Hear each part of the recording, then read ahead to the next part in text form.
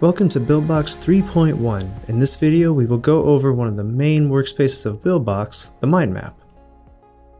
When you open a project or create a new project, you are greeted with this screen here, which is the mind map. The mind map allows you to organize the flow of your game and uses visual connections between nodes that represent your loading screen, UI screens, and your worlds. Your game will be determined by how these nodes connect to one another. Now, there are a few ways you can move around and navigate in the mind map. To move around the map, hold down your spacebar until the mouse turns into a little white glove, then left click and drag in any direction with your mouse. You can also use the middle mouse click and repeat the same dragging motion to move your view around as well. To zoom your view in, simply scroll up with your mouse wheel and scroll down to zoom out. You can also press Ctrl plus or minus for Windows or Command plus or minus for Mac to zoom your view in and out on your keyboard as well. To select a node, simply left click it. Once you do, you will see several different options appear on the right hand side in the options panel. These options will allow you to edit and change certain aspects of the selected node. For example, to change the name of your node, find the text field next to name, double click the text, then type a new name. In this example, we want to rename this world node to level 1. Once you are finished, click anywhere on the grid. To move a node across the grid, click and drag the node around the map, then drop it where you would like it to be placed. If you want to create a duplicate of a node, use W, A, S, or D.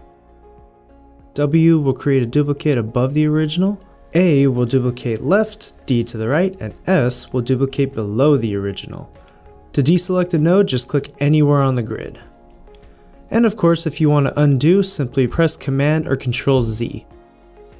Next, let's take a look at how each node is connected. Each node has its own series of inputs and outputs. The inputs are on the left, while the outputs are on the right. So if we look at the connection line between the Start UI node and the Level 1 node, this tells us that when the output of the Start UI has been activated, it will then activate the load input of the 3D world, moving the game from the start UI to the 3D world. If you like to disconnect the connection between two nodes, hover your mouse over the connection line until it emits an orange color, then simply click and drag it away. To reconnect these nodes, all you have to do is drag out a connection line from the start button output, then drop it into the load input of level 1. Let's now navigate to the node panel which is on the far left hand side. The node panel allows you to add new nodes to your project, such as new 3D worlds and UI screens.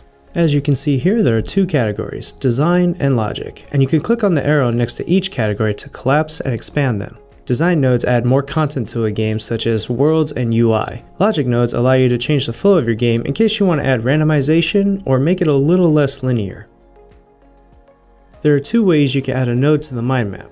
One is by dragging the selected node from the node panel to the grid, Another is to simply right click and choose an option from the menu that appears.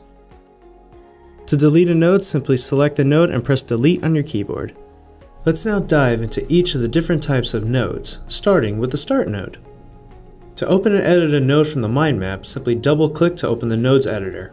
In this example, we have just opened the UI editor of the start node. The start node on the mind map is the root node of your game. It is a special UI node that acts as a loading screen when players open your game. You can showcase your logo here while the game is loading, as well as display images and other backgrounds as well. When you are ready to go back to the mind map, simply click the mind map tab in the navigation bar. Next, let's click into our world node. A world node is a 3D or 2D environment that collectively represents a single level in your game. A 3D world node has a load input which can connect to the output of either a UI node or the start node. It also has a UI output which you must connect to the input of a UI node as you can see here. This will display a UI screen on top of your 3D world. Now, let's click into our UI screen node. UI nodes allow you to create user interfaces for menus or in-game overlays. Here you can add buttons, text labels, and images to your game as well as display information such as points and progress. Last but not least, we have our random node. This logic node will not display anything on the screen. Instead, it is used to move the game from one node to one of three different possible nodes that are chosen completely at random. That concludes this workspace overview of the mind map. In our other workspace overviews, we will take a deeper dive into each of these nodes and their options.